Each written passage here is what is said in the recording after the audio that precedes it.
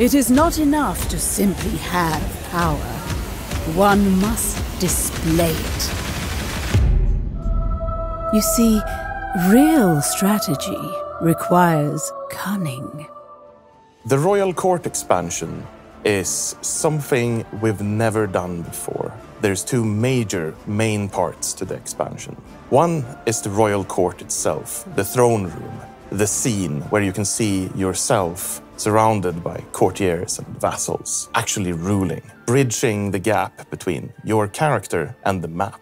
And the other one is cultures, making the formerly static system dynamic, basing it on acceptance and creating dynamism and emergent cultures in the game.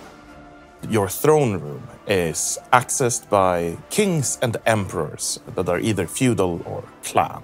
The throne room itself is supposed to reflect your achievements. You collect grand court artifacts, maybe employ powerful court positions, and you see it all reflected in the room itself. Cultures are now modular, much like faiths are. They are made up an ethos, pillars, and traditions.